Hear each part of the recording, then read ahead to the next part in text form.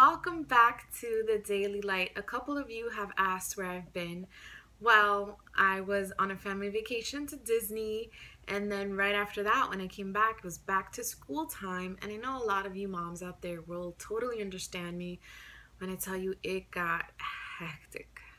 Both of my boys are now full time in school, and just adjusting back to that was crazy, but I'm back because God's work does not stop.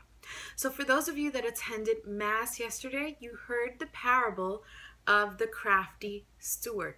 And one verse that really stood out to me is from Luke 16, starting in verse 10, which says, He who can be trusted in little things can also be trusted in great ones.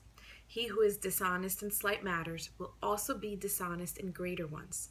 So if you have not been trustworthy in handling money, who could entrust you with true wealth?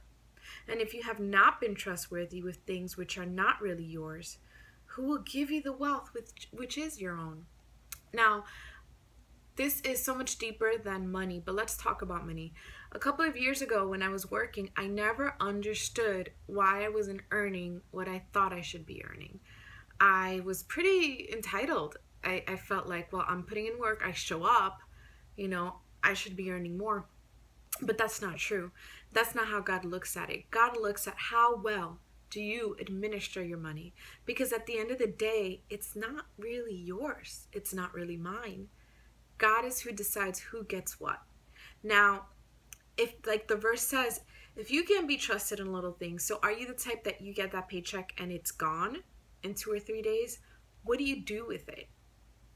Do you first give to God the 10% that belongs back to Him? Are you responsible with it? Are you saving it? It doesn't matter if you get paid minimum wage or if you get paid, you know, $2,000 a week. What matters is how you administer what you're given. And that's what determines if you will be given more.